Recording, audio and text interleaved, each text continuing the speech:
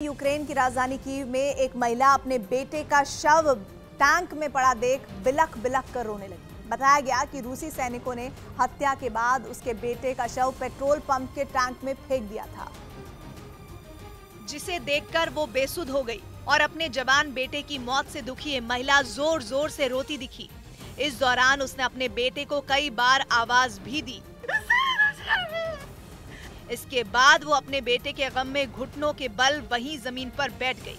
लेकिन उसकी आँखों से आँसू बहते रहे। बाद में वहाँ मौजूद लोगों ने उसे संभाला।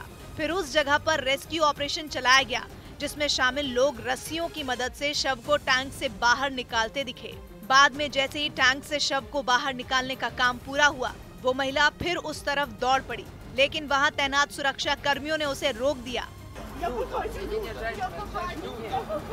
बताया गया कि सर्च ऑपरेशन के दौरान इस पेट्रोल पंप के टैंक से दो शव बरामद किए गए।